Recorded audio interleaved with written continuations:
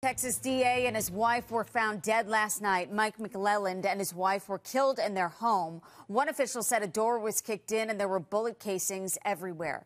Joining me now from Kaufman County, Texas is Ed Lavandera. Ed, what have you heard? Any suspects at this time?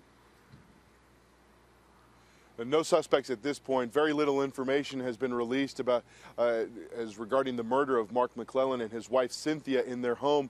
Uh, they were discovered in in their home uh, late yesterday, and of course, this raises all sorts of questions here in Kaufman County because almost exactly two months ago, uh, one of uh, Mr. McLelland's assistant prosecutors here in Kaufman County, a man by the name of Mark Hasse, was also murdered in a brazen attack as Hasse was walking uh, to his office uh, at the uh, at the courthouse. It was a, an attack where no arrests have been made.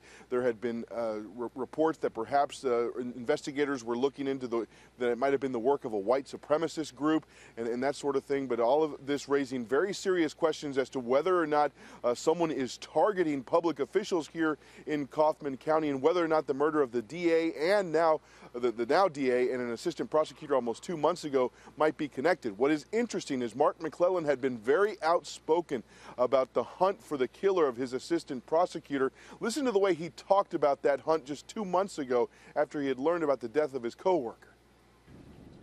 I hope that the people that did this are watching because uh, we're very confident that we're going to find you, we're going to pull you out of whatever hole you're in, and we're going to bring you back and let the people of Kaufman County prosecute you to the fullest extent of the law.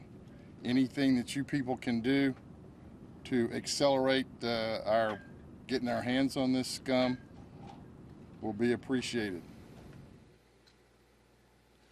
strong words two months ago from the district attorney here in Kaufman County, and now investigators here are investigating his murder and the murder of his wife. So obviously, Susan, this is a, a case and an ongoing case that has a lot of people uh, on edge in these areas. Susan? It is so new, Ed. We're going to be checking back later in the morning for any updates. Thanks so much.